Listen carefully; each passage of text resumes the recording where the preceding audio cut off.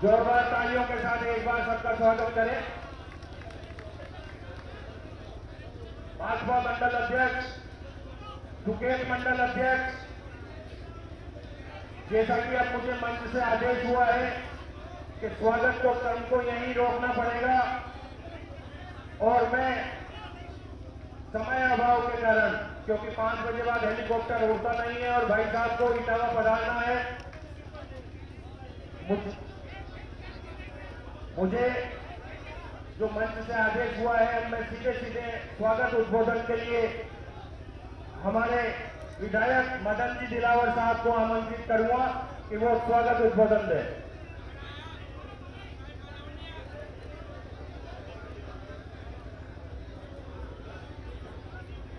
भारत माता की, भारत माता की, भारतीय जनता पार्टी जिंदाबाद। भारतीय जनता पार्टी जिंदाबाद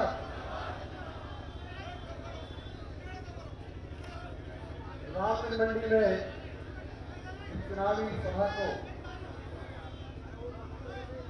संबोधित करने आए हमारे मध्य प्रदेश के लोकप्रिय मुख्यमंत्री श्रीमान शिवराज सिंह चौहान साहब सम्मानित मंच और उपस्थित भाई और बहनों और मित्रों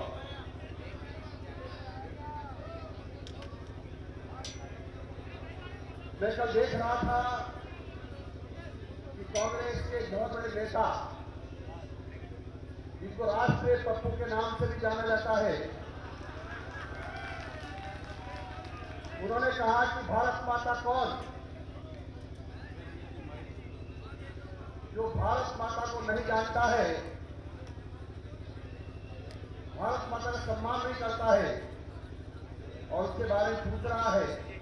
मैं समझता हूँ कि ये ठीक नहीं है, परंतु मैं, मैंने इसलिए बात सबसे पहले इसलिए कही है कि एक तरह से भारत माता का सबसे बड़ा अपमान है कहना मैं माननीय शिवराज सिंह चौहान साहब का कोटा स्तंभ की धरती पर और जो एशिया में सब जगह धनिया की महक फैलाता है ऐसा क्षेत्र में मैं उनका स्वागत करता हूँ करता हूँ। मित्रों, राजस्थान के मुख्यमंत्री अशोक गहलोत साहब बहुत गारंटियाँ दे रहे हैं। बहुत गारंटियाँ दे रहे हैं।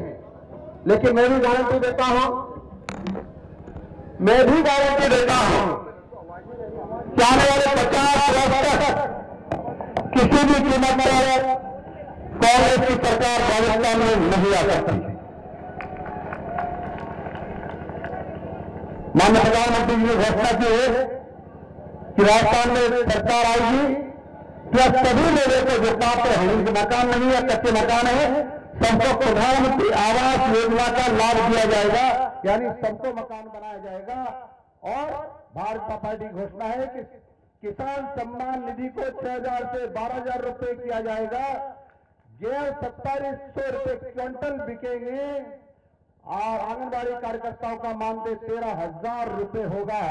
और सभी जो पात्र लोग हैं, खाद्य सुरक्षा से छूट गए हैं उस सब का सबको फिर सर्वे करके सब लोगों को खाद्य सुरक्षा दी जाएगी और इस सबको सस्ता अनाज दिया जाएगा।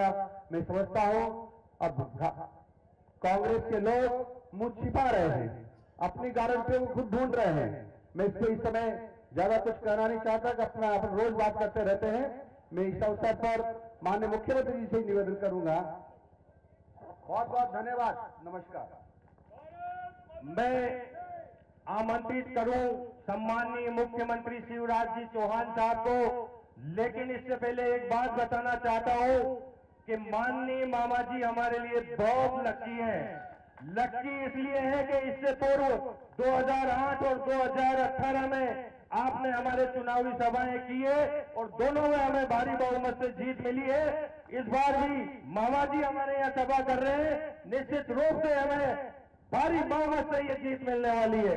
और इन चार लाइनों के साथ आमंत्रित कर रहा हूँ मामा जी को कि हर समय नदी की बाढ़ के, हर समय नदी की बाढ़ के अक्सर सब जाया करते हैं। समय बड़ा तूफ़ान प्रबल पर्वत भी झुक जाया करते हैं। अक्सर दुनिया में लोग, अक्सर दुनिया में लोग समय के चक्कर खाया करते हैं। पर कुछ शिवराज सिंह चौहान जी जैसे भी होते हैं, जो इतिहास बनाया करते हैं, इतिहास बनाया करते हैं, जोरदार तालियों के साथ मान्य शिवराज भैया, ये पर्दा पर्दा हटा दो ना, मामा पर्दे में थोड़ी रहता है। कोई बोले भारत माता की। भारत माता की। रामगंज मंडी वालों की। सभा में आई बहनों भाइयों की। और मेरे भांजे और भांजियों की। अरे मध्य प्रदेश में मामा हूँ तो यहाँ भी रामगंज में भी मामा ही हूँ। जिंदाबाद जिंदाबाद जिंदाबाद जिंदाबाद। भारतीय जनता पार्टी के वरिष्ठ नेता आपके लोकप्रिय विधायक जिनसे गहलोत जी रोज डरते और विधानसभा से निकलवाते रहते हैं। आदरणीय मदन दिलावर जी भाई असीम अरुण जी समाज कल्याण मंत्री यूपी आदरणीय योगेश जी हमारे विधायक देवीलाल जी अलगू जी जिलाध्यक्ष महेंद्र जी, अब चूँकि समय कम है, इसलिए आदरणीय मंच अभी मुझे एक जगह और जाना है और पाँच बजे तक पहुँच के कार्यक्रम समाप्त करना पड़ेगा। रामगंज में उपस्थित। मेरे बहनों, मेरे भाइयों और भांजे भांजियों दोनों हाथ जोड़ के आप सबको प्रणाम, आप सबको नमस्कार। आज देव उत्थानी ग्यारह से आज देव उठ जाएँगे और कांग्रेस सो जाएगी।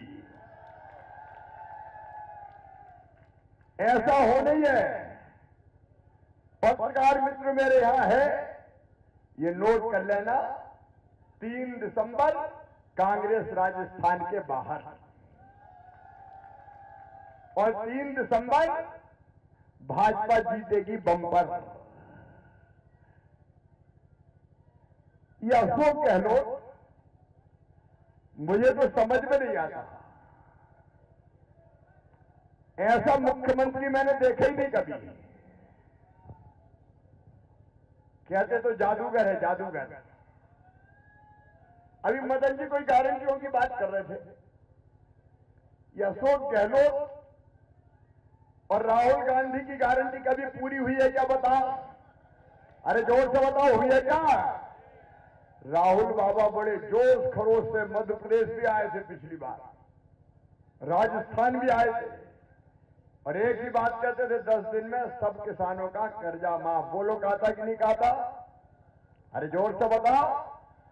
और ऐसे गिनती गिनते थे। एक, दो, तीन, चार, पाँच, छह, सात, आठ, नौ, दस।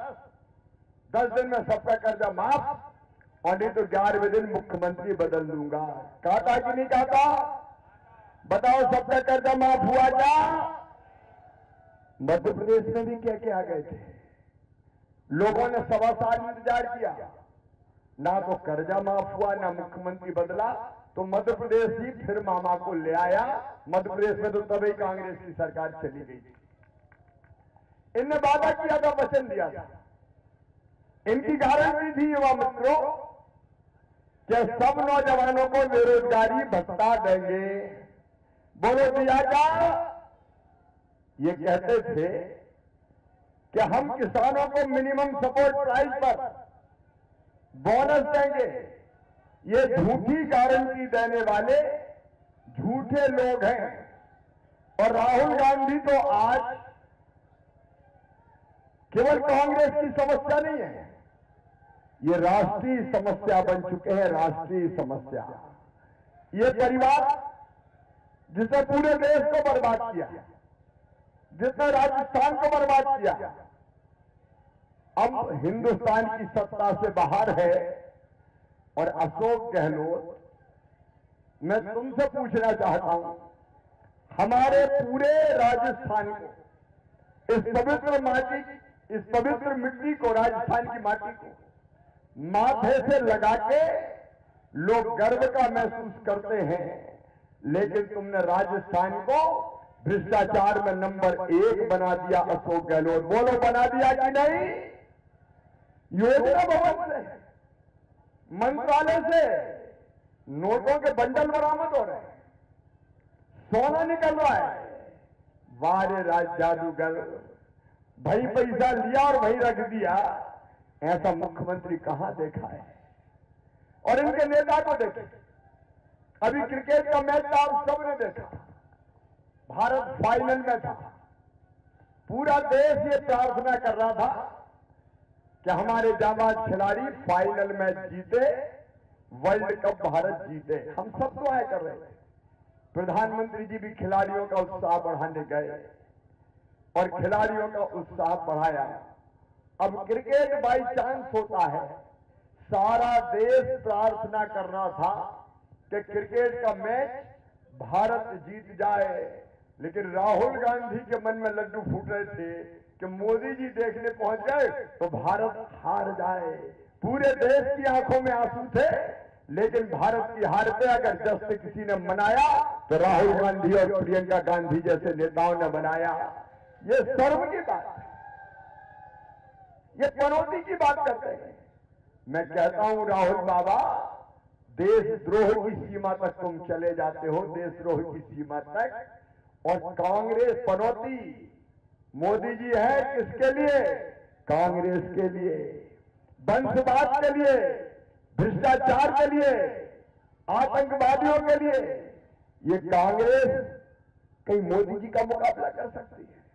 और इसे पता नहीं क्या क्या कहते रहते मुझे तो बुद्धि पे तरस आता है। रामगंज वालों क्या कोई नेता ऐसे भाषण देता है, रामगंज मंडी वाला कोई नेता ऐसे भाषण देता है, सच में राहुल गांधी हो प्रियंका गांधी हो ये झूठ की मशीन है, झूठ की मशीन प्रियंका आई थी मध्य प्रदेश, बोले, भगवान राम, तेरह साल के लिए वनवास गए थे। आप बताओ कितने साल के लिए गए थे? अब यहाँ का बच्चा बच्चा जानता है चौदह गए थे, लेकिन वो कह रहे तेरह। और झूठ ऐसा कि उन्होंने मध्य प्रदेश में जाके कहा कि केंद्र सरकार ने भारत हैवी इलेक्ट्रिकल्स को ही बेच दिया। अब आग का अंदर भी जानता है कि बीएचईएल मध्य प्रदेश में काम कर रहा है। ये झूठे लोग झूठी गारंटी देने आए हैं। इनका भरोसा मत करना।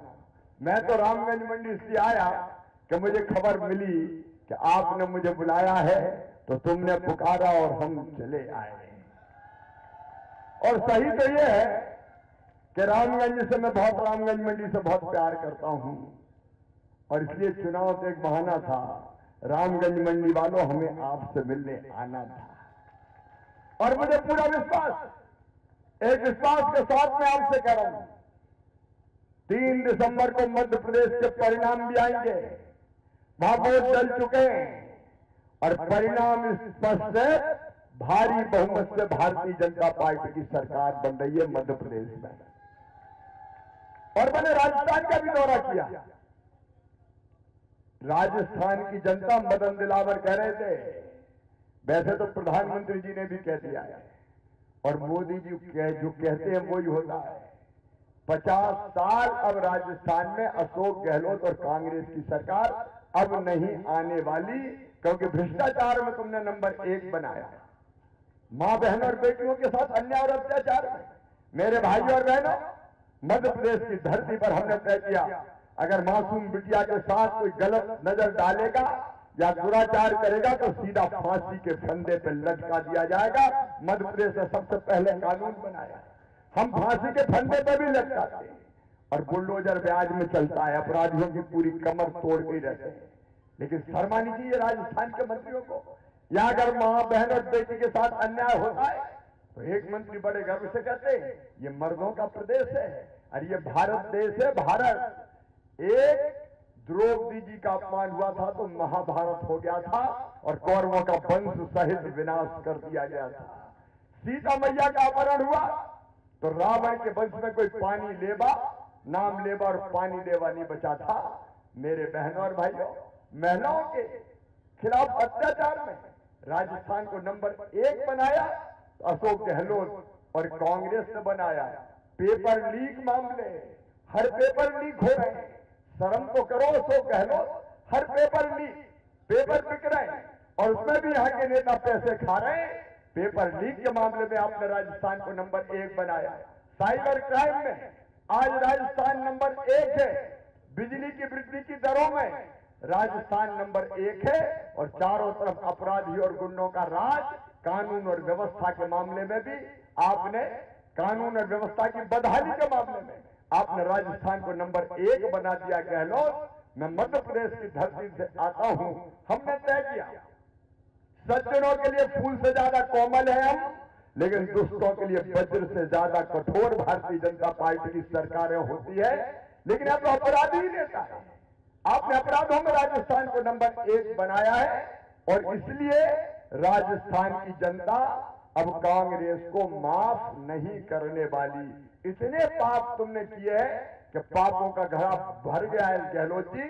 और इसलिए आज देव उत्थानी जारस के दिन ये संकल्प कीजिए कि कांग्रेस के अन्याय, अत्याचार पाप और भ्रष्टाचार की लंका को तीन तारीख को जला के हम राख कर देंगे, पच्चीस को कमल के फूल की बटन दबा के।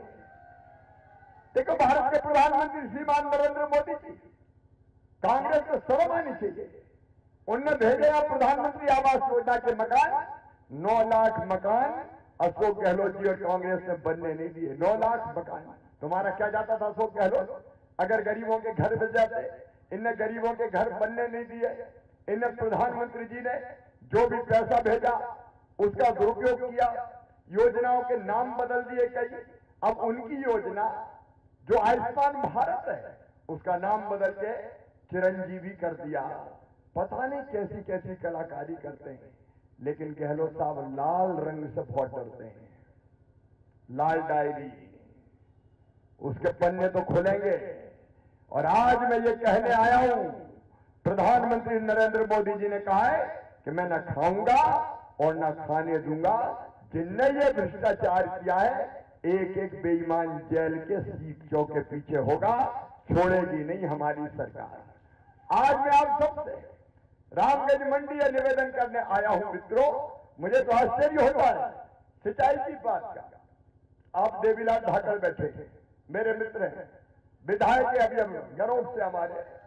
मैं आज आपके सामने कह रहा हूँ, मंदसौर देख लीजिए, नीमच देख लीजिए, पूरे गांधी सागर बाँध का पानी मैं पाइप लाइनों से ले गया।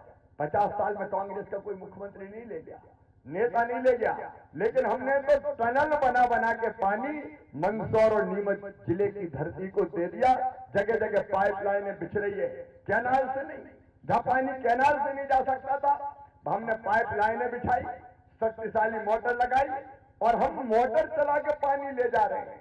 हम नर्मदा जी के पानी को छिपरा जी तक ले आए और केवल छिपरा जी में नहीं, हम पार्वती में ला रहे हैं, काली सिंध में ला रहे हैं, गंभीर में ला रहे हैं। लेकिन अशोक गहलोत को शर्म आनी चाहिए, यहाँ डिस्ट्रीब्यूटरी तक नहीं बना पाए। मैंने आपसे कहा था कि हम यहाँ पानी देने को तैयार है, लेकिन इस निकम्मी सरकार ने रेवा बाँध जो हमारा बगल से आता है, इस निकम्मी सरकार ने उसके लिए फितरती नहीं बनाई।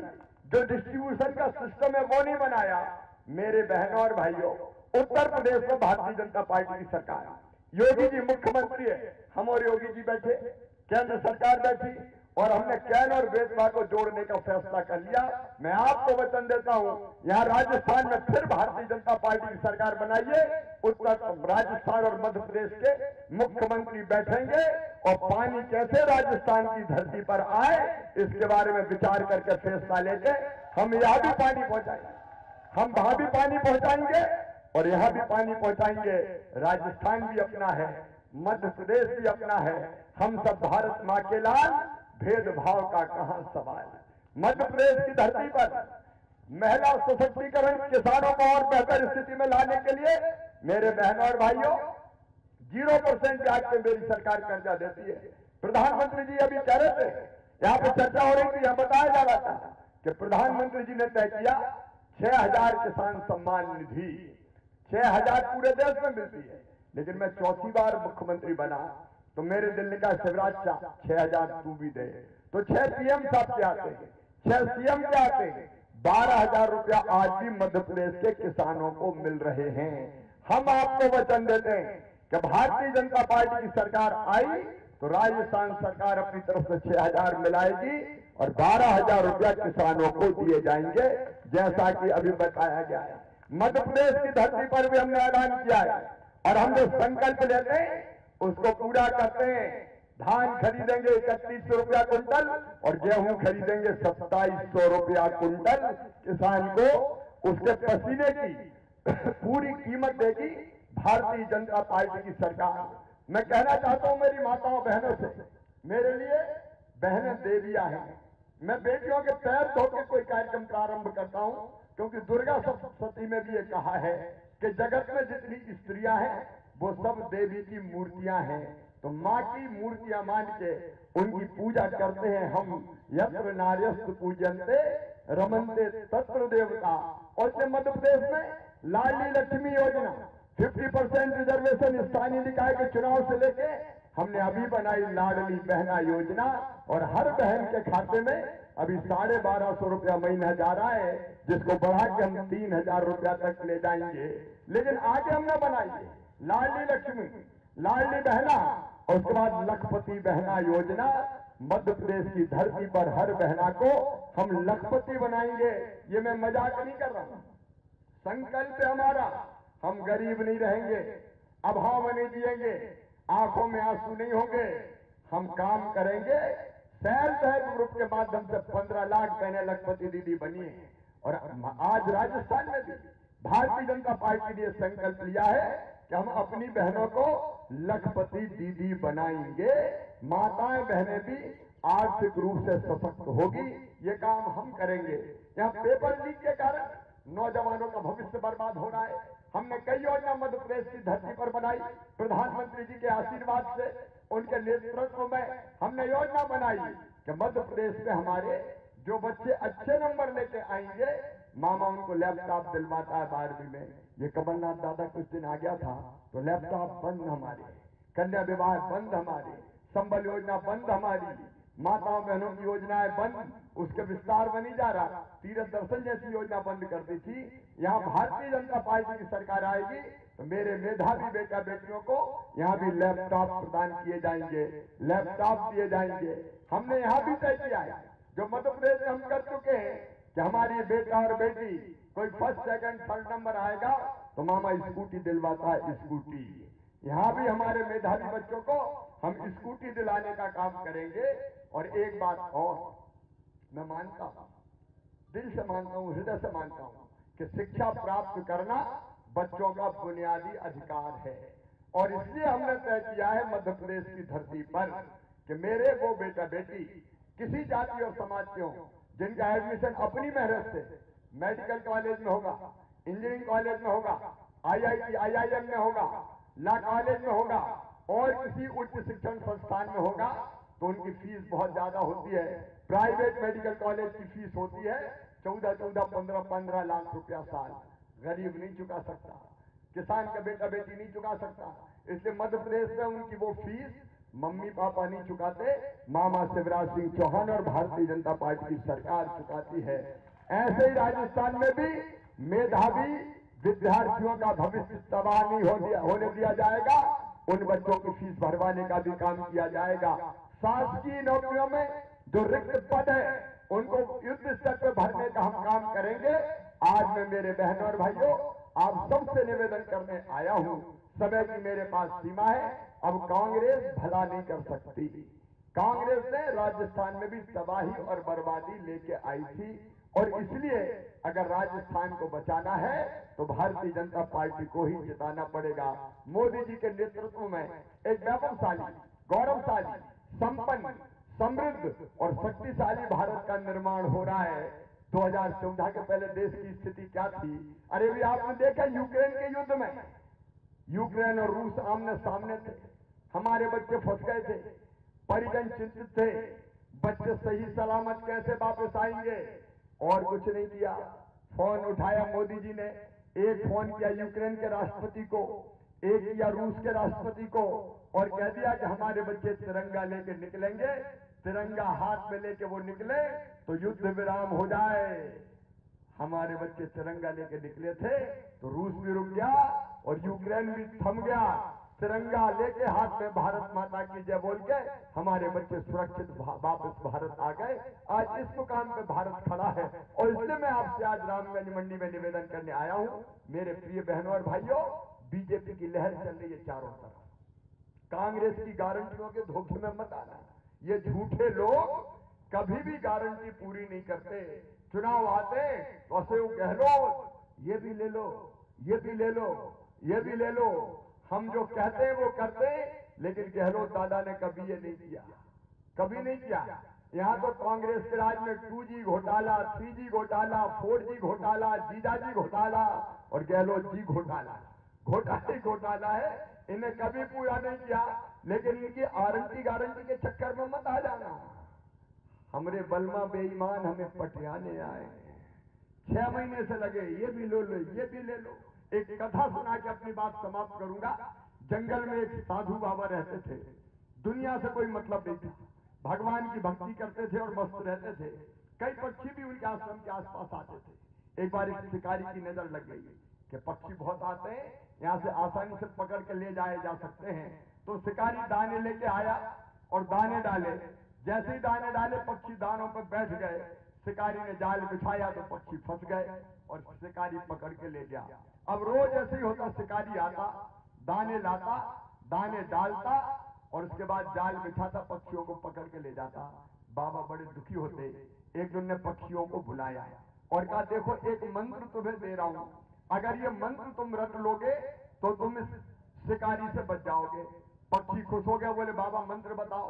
तो बाबा ने कहा, मैं जो कहूँ वो रट लो। शिकारी आएगा तो सब पक्षियों ने कहा, शिकारी आएगा, दाना डालेगा तो सबने का दाना डालेगा, जाल बिछाएगा। तो सबने का जाल बिछाएगा, हम नहीं फंसेंगे। तो सबने कहा, हम नहीं फंसेंगे। अब पक्षी गाने लगे, शिकारी आएगा, दाना डालेगा, जाल बिछाएगा, हम नहीं फंसेंगे। बाबा ने सोचा कि अब ये फंसेंगे नहीं दूसरे दिन शिकारी आया, देख के पक्षी चिल्लाए, शिकारी आएगा, दाना डालेगा, जाल बिछाएगा, हम नहीं फंसेंगे। शिकारी ने सोचा कि शायद अब दाल गलेगी नहीं। लेकिन फिर भी सोचा जाए ट्राई करके देखो, दाने डाल के तो देखते हैं। और दाने डाल दिए। जैसे ही दाने डाले, पक्षी उड़ने लगे दानों की तरफ़ और उड़ते उड़ते भी कह रहे थे, शिकारी आएगा, दाना डालेगा, जाल बिछाएगा, हम नहीं फंसेंगे। और ये कहते कहते दानों पे बैठ गए। जैसे ही दानों पे बैठे, शिकारी ने फिर जाल बिछाया, पक्षी जाल में फंस गए और पकड़ के ले गया। लेकिन जब ले जा रहा था तब भी पक्षी कह रहे थे, शिकारी आएगा, दाना डालेगा, जाल बिछाएगा, हम नहीं फंसेंगे। मैं आपसे कहने आया हूँ, गहलोत आएगा। दाना डालेगा, जाल बिछाएगा। अरे भैया, फंसोगे तो नहीं। इनकी झूठी गारंटी में मत फंस- फंसना, नहीं तो पछताना पड़ेगा। मेरी आप सबसे अपील और प्रार्थना है भाई मदन दिलावर जी, कद्दावर नेता, जुझारू नेता, आपके सेवक हैं। इस बार राजस्थान में अपनी सरकार बन रही है। इसे मदन दिलावर जी को आपका आशीर्वाद दीजिए। मदन दिलावर, केवल विधायक नहीं, और भी आगे बढ़ के क्षेत्र की सेवा करने में कोई कसर नहीं छोड़ेंगे। और पड़ोस से जो ज़रूरत पड़े, दिलावर जी, पानी की बाकी चीज़ों की फिर सिस्टम तैयार करवा लेना पानी भिजवाने में हम आपका साथ देंगे। आप सबसे मेरी प्रार्थना है, कमल के फूल की बटन दबाएँ, मदन दिलावर जी को विजयी बनाए और भारतीय जनता पार्टी की सरकार बनाए। बोले तैयार है? अरे, सब ज़ोर से बताए, तैयार है? कमल के फूल की बटन दबाएँगे दिलावर जी को विजयी बनाएँगे, भारतीय जनता पार्टी की सरकार लाएँगे, मोदी जी का साथ देंगे। तो उठाइए दोनों हाथ, पीछे तक भाजपा जिंदाबाद। हम संकल्प जिंदाबाद।